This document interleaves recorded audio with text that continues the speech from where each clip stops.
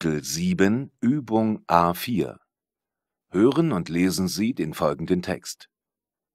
Wo ist der richtige Weg zum Glück? Sehnt sich der Mensch nach einem angenehmen Leben, nach möglichst viel Glück? Die Antwort lautet ja. Jeder will so viel Glück wie möglich. Beweis dafür sind unter anderem die vielen Ratgeber, die man zum Thema Glück kaufen kann. 365 Ideen für das kleine Glück oder Der Weg zum Glück, um nur einige zu nennen. Doch die Tatsache, dass es so viele Bücher über das Glück gibt, ist auch ein Signal dafür, dass unsere Suche nach dem Glück nicht besonders erfolgreich ist. Wären wir glücklich, würden wir keine Ratgeber kaufen. Doch wie findet man den richtigen Weg zum Glück? Mit Geld vielleicht? Glück kann man kaufen, behauptet die Lottogesellschaft. Glück kann man nicht kaufen, beweist die Realität. Untersuchungen zufolge sind viele Lottogewinner nach einigen Jahren wieder genauso arm wie vor ihrem Glückstreffer. Oder nehmen wir die Geschichte von Marianne aus Hannover, die als 48-Jährige sechs Richtige im Lotto ankreuzte. Sofort erfüllte sie sich ihre Herzenswünsche. Sie kündigte ihren Job als Sekretärin, ließ Freunde und Verwandte am neuen Reichtum teilhaben, kaufte sich eine Eigentumswohnung, reiste nach Afrika, in die Karibik, nach Marokko und wurde doch nicht glücklich. Ich langweile mich entsetzlich, erklärte sie nach drei Jahren, deshalb würde ich gern wieder arbeiten. Als Glücksbringer scheint das Geld wenig Glück zu haben. Wir kaufen uns Sachen, die wir nicht brauchen, um Leuten zu imponieren, die wir nicht leiden können, sagt der Psychologe Gerhard Susen.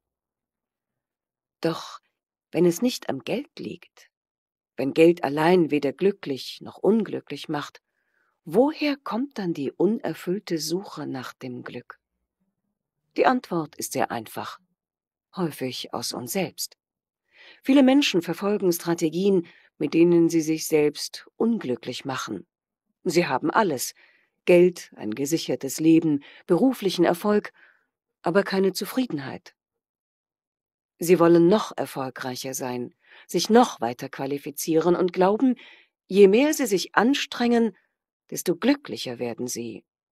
Doch wer so denkt, hat sein Unglück fest gebucht denn die Anstrengungen reichen natürlich niemals aus. Kapitel 7 Übung A12 Glück und Zufriedenheit Hören Sie das Gespräch zweimal. Was ist richtig, was ist falsch? Kreuzen Sie an. Herzlich willkommen zu unserer Sendung Ratschläge für jeden Tag. Heute ist unser Thema Glück und Zufriedenheit. Unser Gast ist Frau Dr. Mitschke. Guten Tag. Guten Tag. Frau Mitschke, Sie arbeiten als Psychologin und haben schon einige Bücher zum Thema Glück und Zufriedenheit veröffentlicht. Sind Sie selbst glücklich? Ja. Ich liebe meine Arbeit. Deshalb bin ich glücklich. Aber ich denke, so geht es den meisten Menschen, die einen Beruf ausüben, den sie mögen. Was also ist für Sie Glück? Arbeit? Eine Arbeit zu haben, die man gerne macht. Das ist sehr wichtig. Sie gibt einem das Gefühl, dass man etwas Nützliches tut. Wichtig sind aber auch die Beziehungen zu anderen Menschen. Familie, Partner, Kinder. Können Sie unseren Zuhörern sagen, welche äußeren Bedingungen noch notwendig sind, um ein glückliches Leben zu führen? Arbeit nannten Sie ja schon. Wie ist es mit Geld? Materieller Wohlstand ist auf gar keinen Fall das Wichtigste. Man kann natürlich sagen, dass im Durchschnitt reiche Menschen glücklicher sind als arme Menschen. In den USA und in Großbritannien gaben bei verschiedenen Umfragen unter den reichen Leuten 40 Prozent der Leute an, dass sie glücklich sind, bei den Armen waren es nur 28 Prozent. Aber interessant ist, dass sich dieser Anteil der Glücklichen in den letzten 50 Jahren nicht verändert hat. Also, Obwohl die westlichen Industrienationen immer reicher werden, wird die Gesellschaft insgesamt nicht glücklicher. Spielt die Politik beim Glücklichsein eine Rolle? Ja, Vergleichsstudien zeigen, dass es den Menschen in Gesellschaften, in denen der Einzelne etwas zählt und mitbestimmen kann, also in einer Demokratie, besser geht als zum Beispiel in einem autoritären System. Sind Frauen glücklicher als Männer? Nein, da gibt es keine großen Unterschiede. Welche Rolle spielt das Alter beim Glücklichsein? Ganz jungen Erwachsenen und älteren Menschen geht es offenbar am besten, wie unsere Untersuchungen zeigen. Zwischen 25 und 45 scheinen wir weniger glückliche Jahre zu haben. Vermutlich liegt das an den äußeren Bedingungen, die uns dann belasten. Kinder, Kredite, Karriere und so weiter. In diesem Alter ist der Druck, etwas zu erreichen, besonders groß. Vor allem der Druck, den wir uns selbst machen. Das Streben nach immer mehr Erfolg, der Vergleich mit den anderen ist auch ein Teil des Drucks. Muss man nicht auch Glück haben, um glücklich zu werden? Sicher. Wenn man Glück hat, ist das kein Nachteil fürs Leben. Trotzdem kennen wir viele Menschen, die zeigen, dass zufälliges Glück und zufälliger Erfolg allein noch nicht glücklich machen. Nehmen Sie zum Beispiel Filmstars. Die können Erfolg und Anerkennung haben und versinken trotzdem in Depressionen. Auf der anderen Seite gibt es Menschen, von denen man sagt oder denkt, dass sie kein Glück im Leben haben. Zum Beispiel Menschen mit einer Behinderung. Aber viele Behinderte empfinden in ihrem Leben genauso Freude und Glück wie nicht behinderte Menschen. Also das zufällige Glück ist eben nur eine äußere Bedingung, die nicht automatisch zu mehr Zufriedenheit oder Freude am Leben führt. Welchen Tipp geben Sie unseren Zuhörern mit auf den Weg? Glück ist für mich die Freude am eigenen Leben. Je lieber jemand so lebt, wie er lebt, desto glücklicher ist er.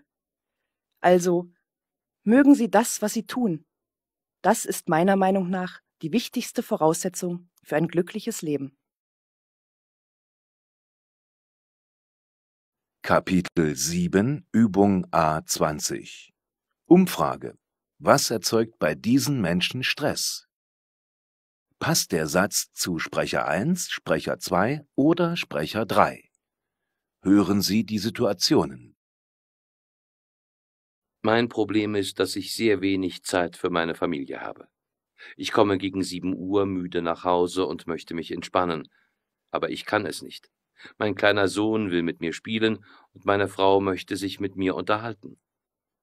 Ich weiß, dass meine Familie mehr Zeit verdient, und es stresst mich, dass ich ihren Erwartungen nicht entsprechen kann. Aber sie müssten mich auch verstehen. Wenn mein Chef mich fragt, ob ich heute länger im Büro bleiben kann, traue ich mich nicht, Nein zu sagen. Jedes Mal, wenn ich eine Fremdsprache sprechen muss, bin ich gestresst. Und mit diesem Stress kann ich gar nicht umgehen. Zum Beispiel war ich letzten Freitag zu einer Party, zu der auch viele Franzosen eingeladen waren. Ich lerne seit drei Jahren Französisch und ich mag die Sprache. Trotzdem finde ich es schwer, mich mit Franzosen zu unterhalten. Obwohl ich im Sprachkurs solche Gespräche geübt habe, war ich am Freitag sehr angespannt. Plötzlich habe ich alles, was ich gelernt habe, vergessen. Zum Glück waren die Leute auf der Party sehr nett, und nach einem Glas Wein konnte ich schon besser sprechen. Aber diese ersten Minuten haben bei mir solch einen Stress erzeugt, dass ich weggehen wollte. Also, ich habe kein besonderes Problem. Bei mir löst einfach alles Stress aus. Am schlimmsten ist es, dass ich mit dem Stress überhaupt nicht umgehen kann.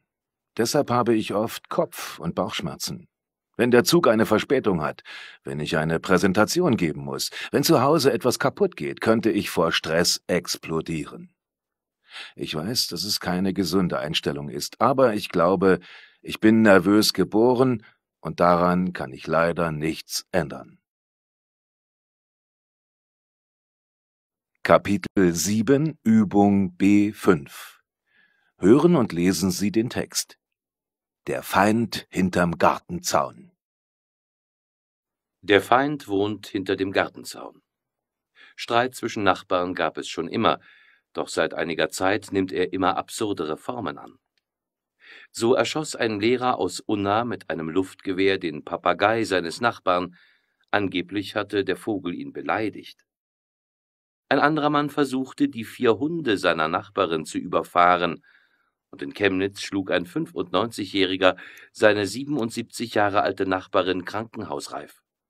Sie stritten sich um ein paar Äpfel. Nachbarschaftskonflikte vergiften das Klima zwischen Menschen, die Haus an Haus oder Tür an Tür leben. Oft streiten sich Nachbarn über Jahre und sind nicht in der Lage, den Konflikt beizulegen. Die Deutschen haben es verlernt, Konflikte zu lösen, sagt der Sozialpsychologe Volker Linneweber von der Universität Marburg. Unser Leben ist insgesamt sozial ärmer geworden, die Nachbarschaftshilfe hat an Bedeutung verloren. Die Familien sehen miteinander nur noch fern, gemeinsame Freizeitaktivitäten gibt es nicht mehr. Der Nachbar wird als Bedrohung der eigenen Privatsphäre empfunden. Bei einer Umfrage fand der Psychologe heraus, dass nur 20 Prozent nichts an ihre Nachbarn auszusetzen haben. Im Gegensatz zu südeuropäischen Ländern, wo der Streit lautstark ausgetragen wird und man sich danach wieder versöhnt, werden in Deutschland oft langwierige und komplizierte Prozesse vor Gericht geführt. Dabei gibt es in der Regel keinen Gewinner. Besonders schwierig scheint im Streitfall eine Einigung mit Menschen zu sein, die viel zu Hause sind. Für sie wird der Streit am Gartenzaun oft zum Lebensinhalt